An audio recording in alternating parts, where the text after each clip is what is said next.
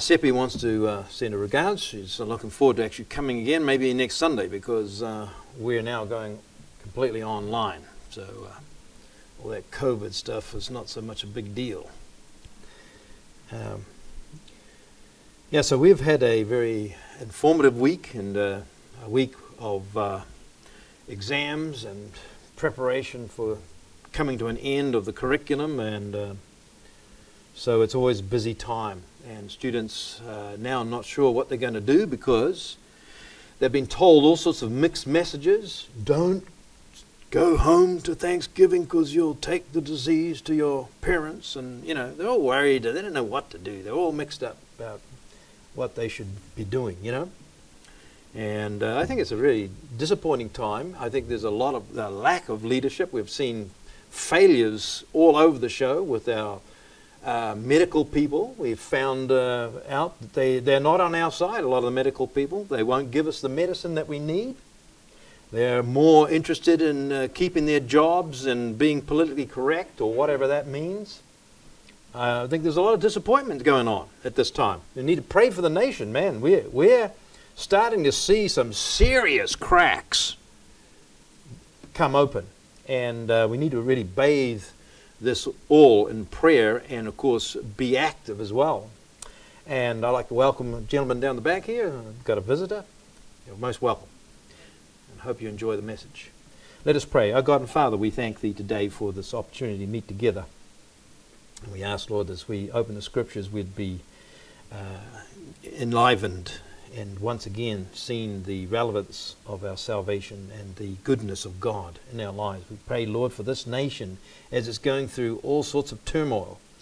And we ask, Lord, that you would heal it in thy time. And we pray that we would be used of thee to help the situation.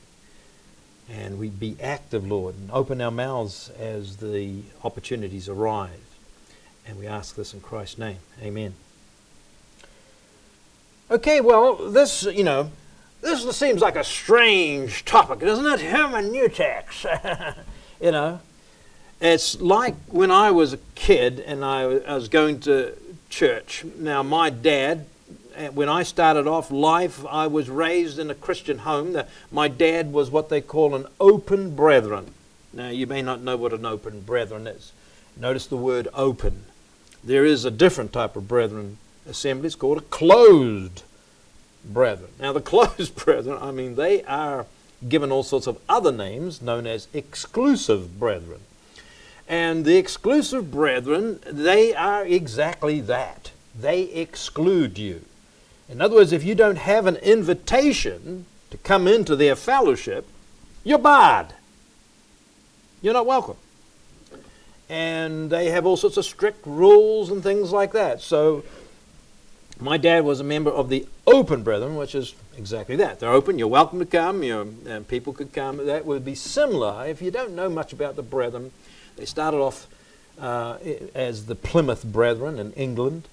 And uh, if you know of Darby, Darby, he was one of them, and he wrote a lot of commentaries, basically mid-acts dispensational. Okay, that's basically what they were. And how they sort of organized themselves was that they would uh, be well, equivalent, I guess, a fundamental Baptist church. That's the best I can come up with. Not the same, but about the, the sort of similar kind of thing you would imagine. Very much uh, gospel oriented, very much about knocking on doors and, and bringing the gospel to people. And so I was raised in that kind of environment and uh, taken off to church, and we used to sing all sorts of songs. We'd have the Sunday school, and, and I used to remember all of those things. And now that I'm an older person, I remember those things. They come back to my mind, and sometimes early in the morning, I forget where I am. You know, I'm not losing my mind now. This is just one of those things where I'm lost in my dreams a little bit, and I go right back there and I can hear the exact music. I mean, precisely. I hear it just like I was there. And the faces of some of the, the people, I remember them. They come back to me. And I sometimes when I'm uh, smelling the air early in the morning out in Oklahoma, it's a similar smell to the, the smell of a farm I was raised on, and I was only, what, three years of age? And my, my, my memory goes back even there, and I can even see, right now, right now, I can see a, a scene which I know is true, and it's also a scene which was appropriate for my age of about three. And I can see it right now. It's, it's inside a farmhouse in a kitchen and I was on a chair, a child's chair, and it has the, the plate thing in front, and, the, and I was here. but I, I could see the kitchen, I could smell it. I could, they, in, in that particular farmhouse, they have a wood stove. No electricity for turning it on, wood stove, man. Throw the wood in there and get the stove going. It would heat the place and also provide your cooking. And all of these things they come to my mind. And at this time of Thanksgiving, we don't have a Thanksgiving in New Zealand, but uh, at this time of Thanksgiving, these kind of things, I guess, come to your mind in some way. You connect in some way to your family, your history, the goodness that's there. And I want to talk a little bit about that too in, in, part of my message because this message, which talks about parables, believe it or not, it gets into this kind of idea. It touches on these ideas to do with goodness, the goodness. And what we have today, I think, within the political environment is we get people who only want to talk about what's wrong with things without even looking in the mirror themselves. They want to talk about the founding generation as having all these slaves and they did this and they did that and there's you know they're rotten people etc etc and all they can do is find things that are wrong with the founders in order that they can minimize the goodness of the constitution right that's what the game is if you don't know that game by now well you, you haven't got your eyes open because that's the game the game is pull down by using any method you can individuals that were involved with the founding of this nation. Why? So you can fundamentally destroy it. We're, that's where we're at. Believe it or not, man, that's where we're at. And as a foreigner who came into this country looking for good old fashioned American freedom and capitalism unabashed, unashamed, and people who believed in the liberty and freedom that you can see in the Constitution, it is disheartening, man. It is disheartening. I, I, you, you must feel it too, right? You must feel it. I feel it. I feel it tremendously. And, and we need to be aware of what the fight is, and we need to get into the fray, man. It's time. It's time to get into the fray in whatever way you can. John Birch Society is a fantastic thing. Standing up for the good old Constitution. And these issues, I mean, I talked to a guy, I won't give you his name, but I talked to a guy out at Thunderbird just recently. And he pointed this out, and he was saying, you know, it comes down to the Constitution. That's all we've got in the end. Just the Constitution. And we've got to the point where, we were discussing this last week, where it's possible that if we don't get quite, quite the right numbers in the Senate, that there could be the possibility that the Constitution could be in jeopardy. You know? And once that goes, my friends, do we have America? I don't think we do, really. We got some other thing, right? We got some other country. And we've seen this, man, around the world. People have forgotten what it means to be an American. And they've forgotten what liberty costs. It didn't come for nothing, man. Our salvation came at a cost. Now, it's given to us for free. Yeah, to us, it's come for free, but at huge cost at the Son of God who loved us and gave himself for us. Now, I don't want to make this all about politics because here I want to say something straight up and down. I don't think there's any one party that's 100% right. We, we have to admit the Republicans have messed up, man. They've messed up. Big time. They've been given opportunities and they've let them go and they, they, they fall down. You can't trust anybody in politics, man. You can't trust them. The only one you can trust is Jesus. That's it. And fundamentally, that's the problem here. You know, I was just trying to think about, well, you know, what is the real problem? Oh, they're not following the Constitution. Yeah, that's an outward thing. But the inward problem is first of all spiritual. You know that, don't you?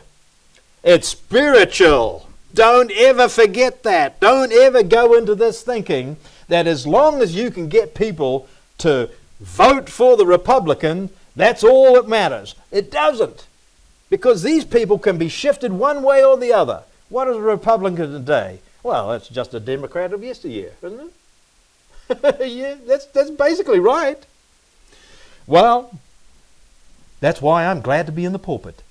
I'm glad that I know at least the fundamental issue that is going on today. It's spiritual. It's always been spiritual. It's always been spiritual. And that's why I'm glad I'm a preacher, because I'm in right at the front of the fray. Okay, well, I better not carry on like this. I'm going to forget my whole sermon. so, uh, you know, We've been looking about this subject of hermeneutics, and you can see the word Hermes in there, which is the basic idea. It comes from a pagan person, right? That's one of the gods, and his job was to communicate from the gods and bring it down to man, and then take what man says and take that back to God. And he was, he, he was, you know, very, very fast, and that's why you see all these wings on him. You know, he's very fast at what he does. And, you know, when we bring messages, we need some speed. We need to be on target as well. And sometimes what we should, should be is not so much fast, but accurate and timely. And I think this is very important. So the word is in there. Hermeneuo. Okay, cool. To interpret.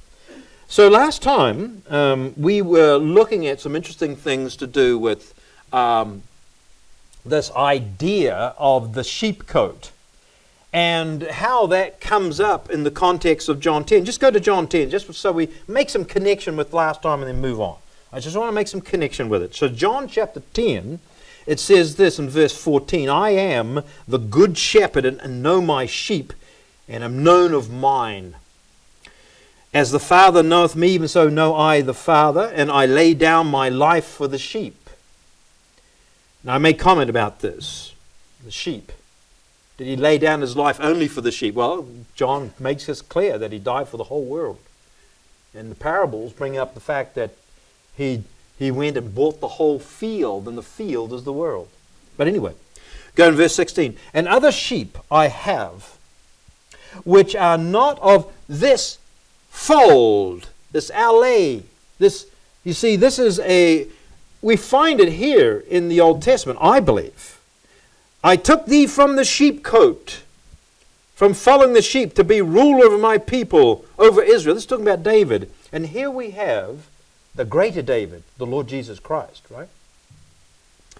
And it says in verse 16, And other sheep I have which are not of this fold, them also I must bring, and they shall hear my voice, and there shall be one flock and one shepherd. Now you say it says fold. Yeah, I know, but the word there is for flock. It should be one flock.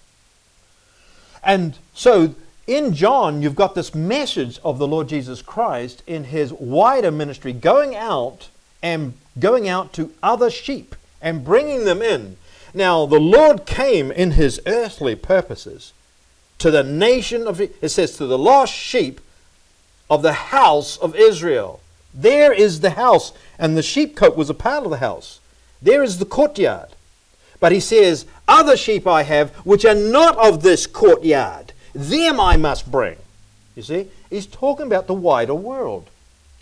And that ministry you can find discussed even further in Matthew 22, which talks about the highways, going out to the highways and the byways, and going out to good and bad and bringing them in. And finally, there will be where are they going to bring them to? As guests. That's interesting, isn't it? Guests. See, a guest is a very, very different thing than the, the people intimately involved with the marriage, right? When you go to a marriage ceremony, what are you doing?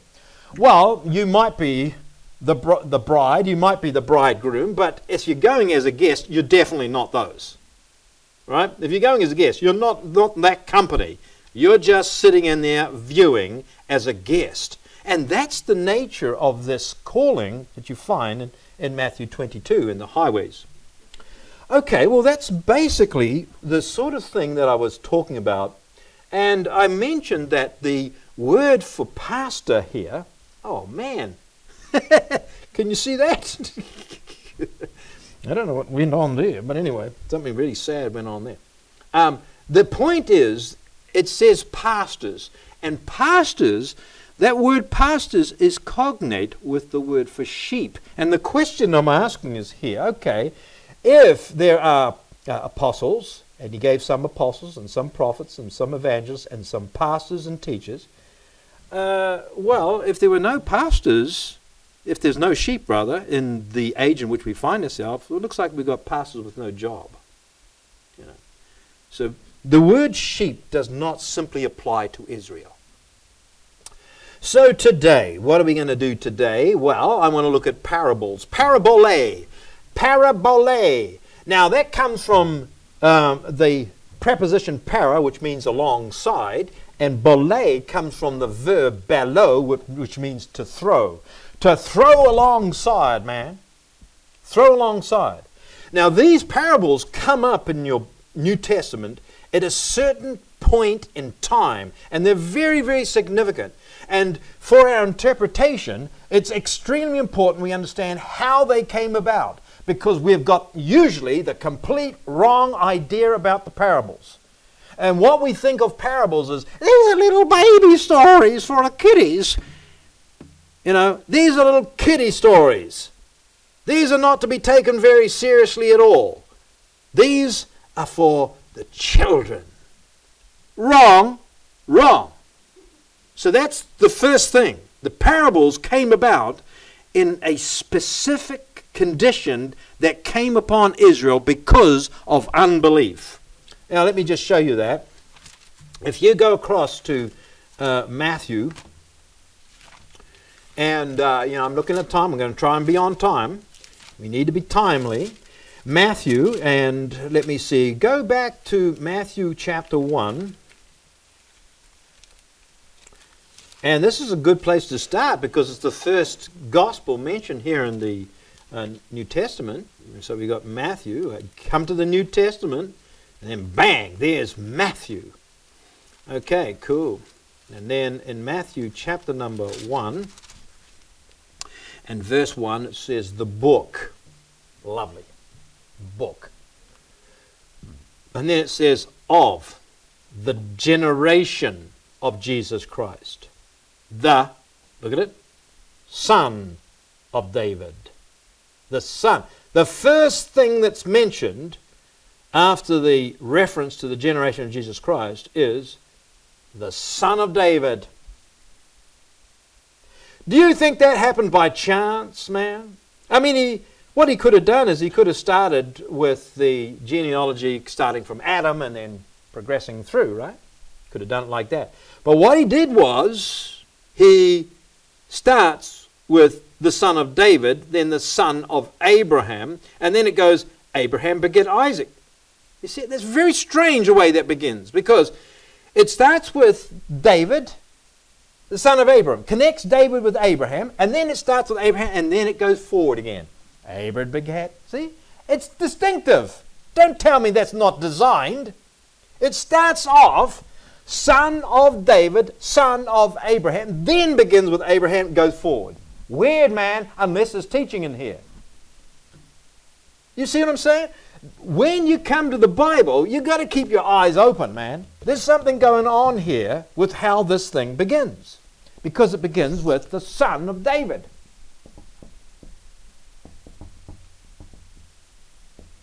Son of Abraham. Wait a minute. Son of David. Solomon. What did Solomon do? Well, he took the kingdom to its largest extent. Son of Abraham. What's distinctive about the son of Abraham? Well, remember the sacrifice? Mm. So here, what you've got is the king. The king's domain, right? And then over here, the son of Abraham, we've got something to do with sacrifice, man. And this is something that the Jews really have a problem with. They do not want to admit that Messiah would die for their sins. Oh man, what a mistake to make. I mean, it's like the Muslims who say that, many of them say, that Jesus did not die on the cross. you can make mistakes, man, in your life, but you don't want to make those two mistakes because that's serious. Because that's the whole reason why Jesus came. He came to give his life for the sheep, right? Son of Abraham, son of David. Hmm, two. Two. Hmm, there's two purposes here. Well, that's kind of uh, cool. Now, if you just go across a little bit here, um, I'm going to try and, from memory, remember how this goes. Uh, have a look at Matthew 4. Yes, I think this is right. Matthew 4 and verse 17. Look at this. We're looking for structure. We're interested in interpretation. And if we get the interpretation right, we're going to be so much more confident because we build on interpretation. Now watch this. Matthew 4:17. And by the way, have you got a King James Bible that's got a paragraph mark? Okay? Tell me, what do you notice about the next verse? Paragraph mark on the next verse? As your Bible? You don't, they don't all have them, okay? If you don't have it, no big deal. It's not a part of the uh, inspired scripture. But many of the King James Bibles will have paragraph marks. Now, there's a paragraph mark on 17 on mine, and then there's a paragraph mark right after it on verse 18. That's strange, man. Isn't it?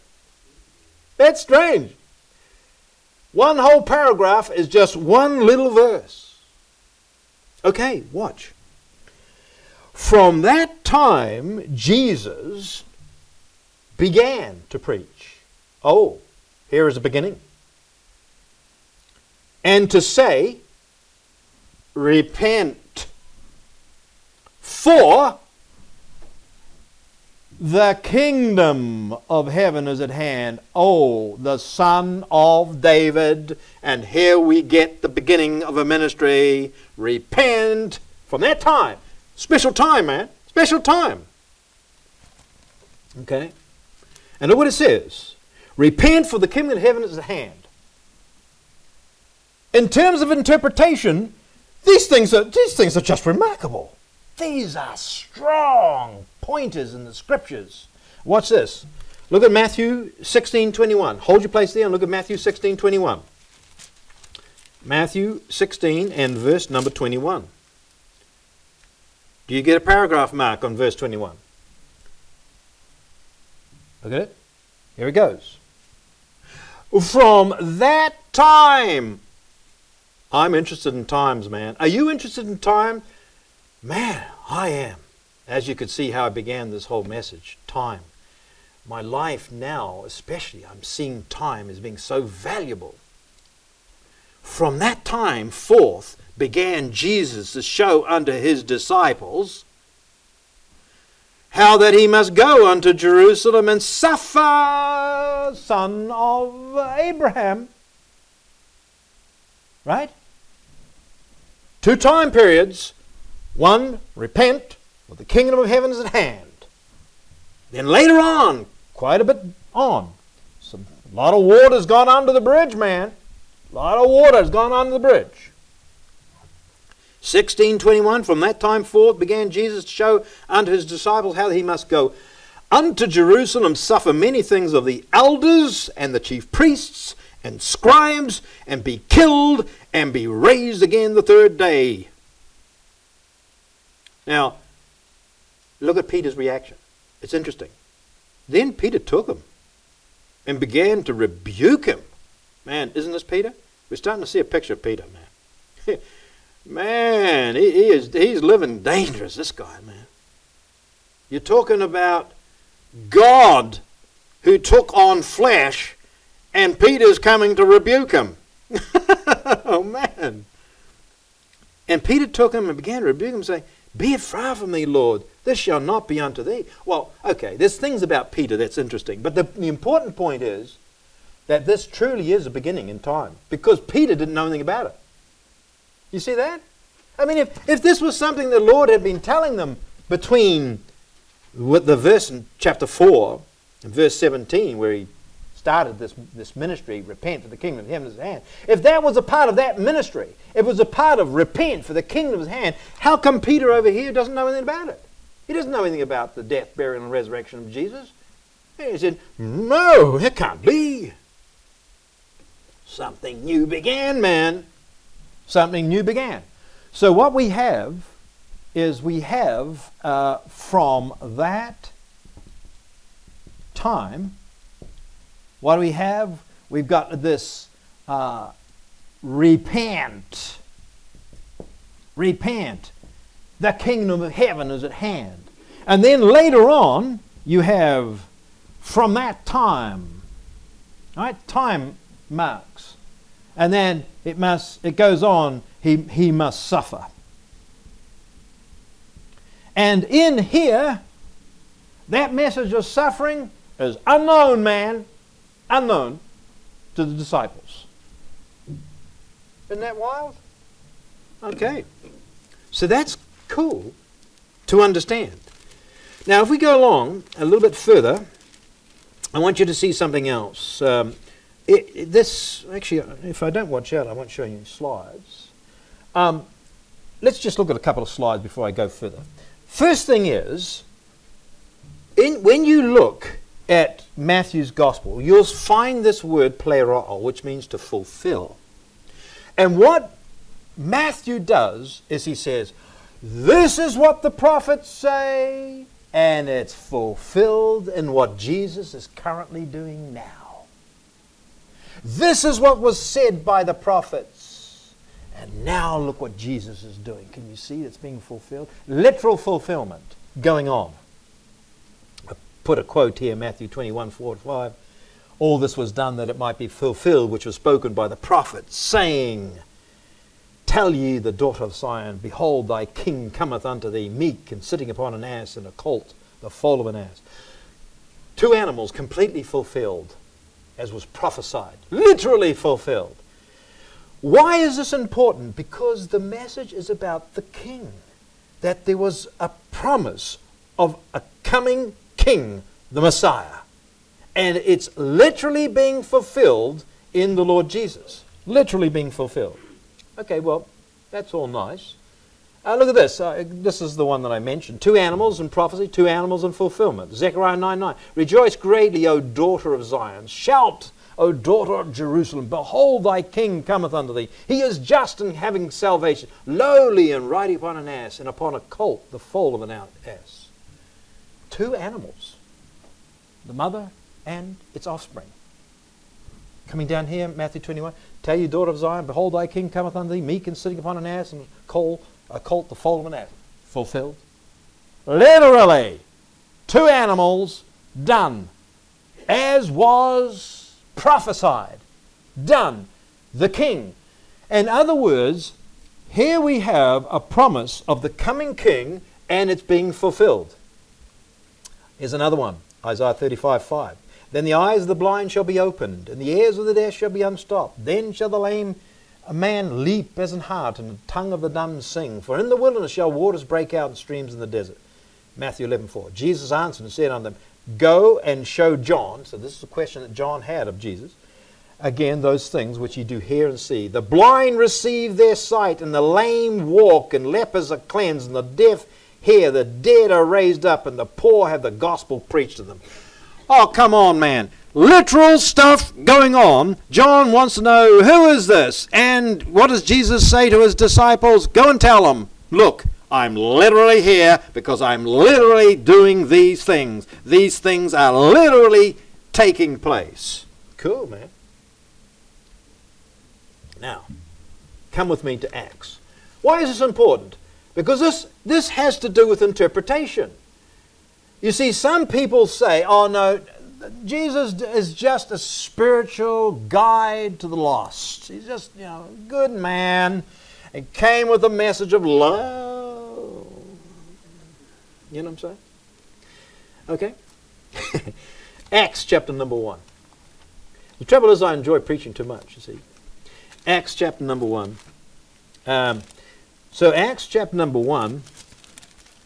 By the way, this man Dave Speedy, who passed away, he was a he was one of these guys who just loved humor, and he would always be looking for a joke and something to bring, and he used to just love humor.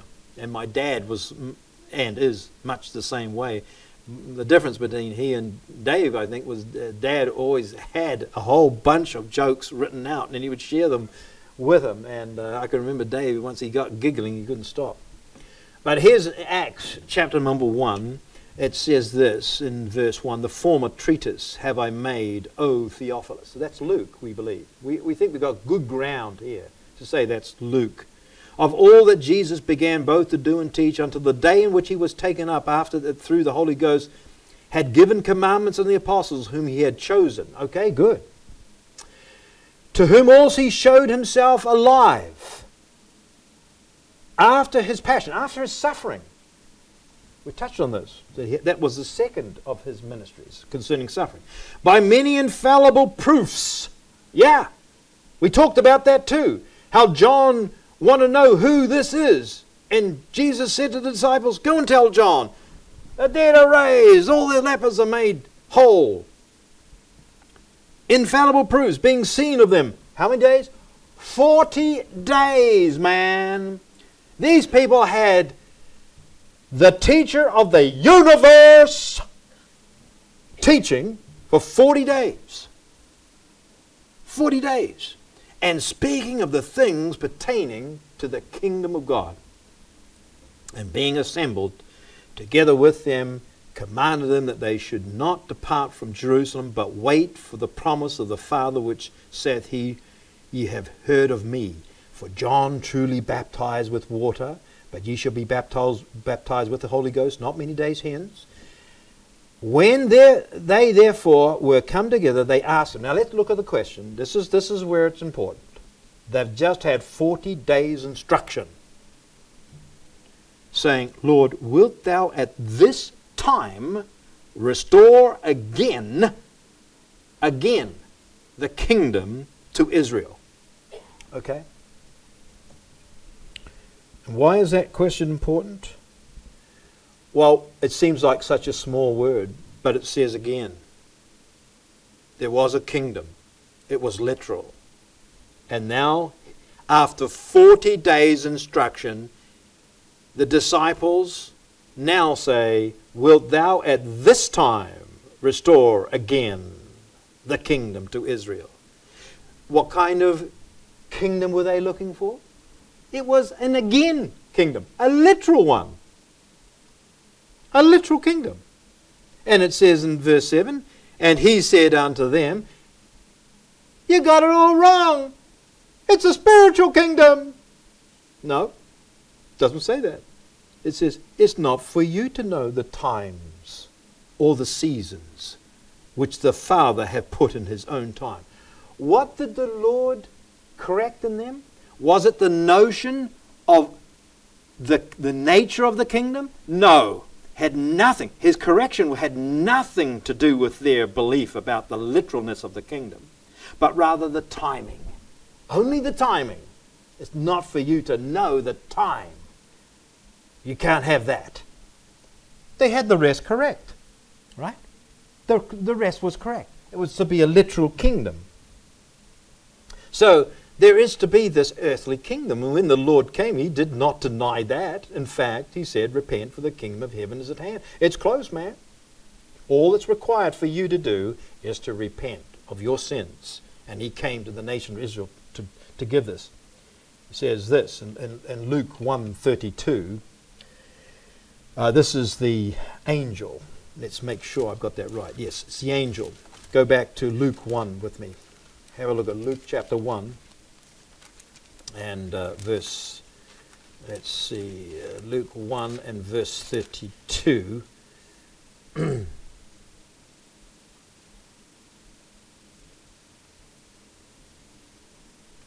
Yes, so like in verse 30, it says, the, And the angel said unto her, Fear not, Mary, for thou hast found favor with God.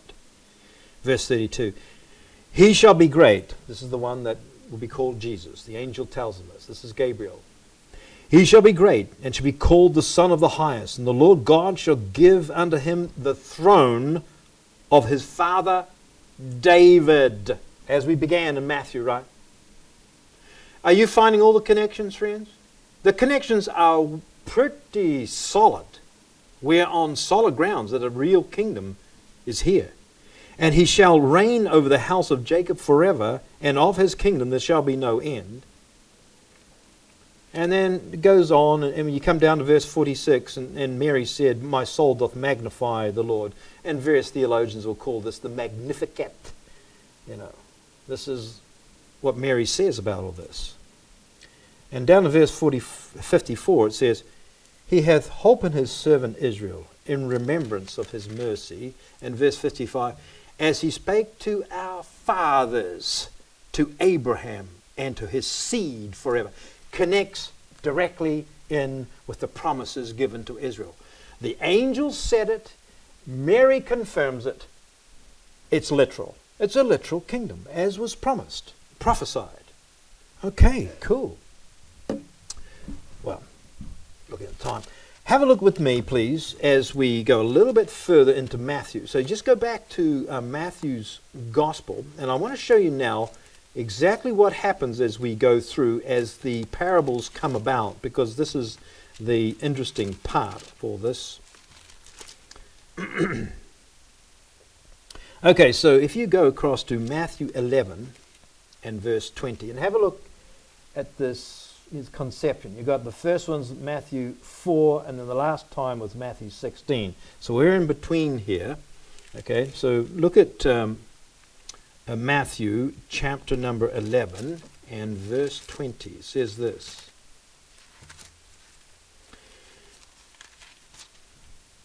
It says this um, uh, Then began he to upbraid the cities wherein most of his mighty works were done, because they repented not. Repent, for the kingdom of heaven is at hand. Matthew 11 20, because they repented not. So, he's coming, he's giving a message concerning the kingdom. He is the king, he is Messiah, and they're not repenting. Oh, that's interesting. If you go across a little bit further, look at chapter 12 and verse 6. But I say unto you that in this place is one greater than the temple. 12 verse 6. But I say unto you that in this place is one greater than the temple. Mm, that's Jesus. He's greater than the temple. Verse 39, same chapter. But he answered and said unto them, An evil and adulterous generation seeketh after a sign, and there shall no sign be given it, given to it, but the sign of the prophet Jonas. For as Jonas was three days and three nights in the whale's belly, so shall. We're going to have to do a study on Jonah, right? Because there's a very interesting lineup between what happens to Jonah and what happens to Jesus. In terms of his death, I mean, and his resurrection. So shall the Son of Man be three days and three nights in the heart of the earth. You see, he's a greater than Jonah. He's greater than Jonah. If you go across to chapter 12 and verse 42, Look what it says there. It says, The queen of the south shall rise up in judgment with this generation, shall condemn it, for she came from the uttermost parts of the earth to hear the wisdom of Solomon, and behold, a greater than Solomon is here. Prophet, priest, and king. They rejected him. They rejected him. Chapter 12. Interesting how the chapters are going, right? Chapter 12, nation of Israel, 12 tribes of Israel. Chapter 13, you got a teenaged human being in your family, have you? Remember those days? yeah. Chapter 13, rebellion. And you've got some very interesting statements made and if you come down here, um, verse 13, it says this Therefore speak I to them in parables, because they seeing see not, and hearing they hear not, neither do they understand. And in them is fulfilled the prophecy of Isaiah, which saith, By hearing shall hear, and shall not understand, and seeing you shall see, and shall not perceive. For this people's heart is waxed gross, and their ears are dull of hearing, and their eyes have they closed, lest at any time they should see with their eyes, and hear with their ears, and should understand with their heart, and should be converted, and I should heal them. But blessed are your eyes, for they see, and your ears, for they hear. Hmm. There is a group of people there, the disciples, whom the Lord is going to open things up to. But to the rest, he's going to speak in parables. See in verse 10? The disciples came and said unto him, Why speakest thou unto, in, unto, unto them in parables? He answered and said, Because it's given unto you to know the mysteries of the kingdom of heaven. But to them it's not, not given. In other words, because they were given the opportunity to repent, and from their own volition, from their own vice, they went against the Lord Jesus Christ. And so then what does he do? He uses their rebellion and hardens them in order that a greater ministry would unfold.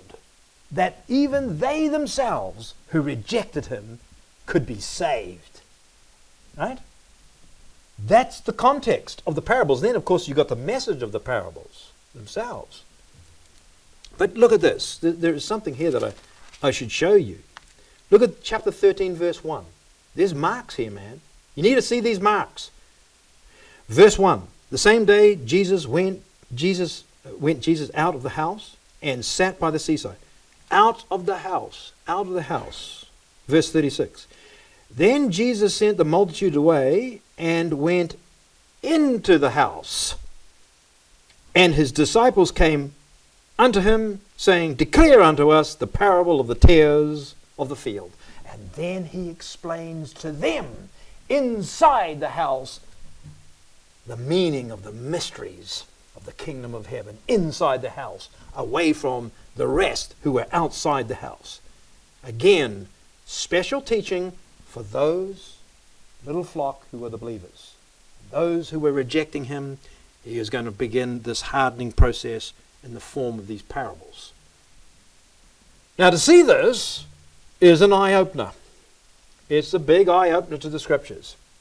It's an eye opener in terms of what God is doing through Jesus Christ in terms of these two ministries. And it's not as if this has been forgotten. It's not as if the kingdom is, is all done with. But something has to be done first. Something has to be done first, and that is there must be the matter of sin right? The sin must be, must be dealt with. I began with this, right? And we've got all sorts of problems in here. But you know something? Here is the point. When Jesus therefore perceived that they would come and take him by force to make him a king, he departed again into a mountain himself alone. The spiritual problem must be dealt with first before any kind of national glory and betterment can come. There must be a dealing with sin first, and there must be a spiritual work in the lives of people first. And here in America, we've got the same issue. That people want to put together all of these parties and try and get their philosophy going and put it in practice into this country. But what they need first of all to do is to get spiritually right. That's the first thing. Right? Let us pray. Our God and Father, we thank Thee for today, for this message on hermeneutics.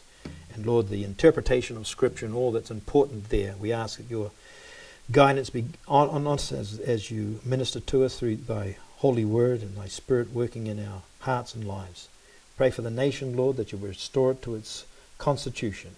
In Christ's name we pray. Amen.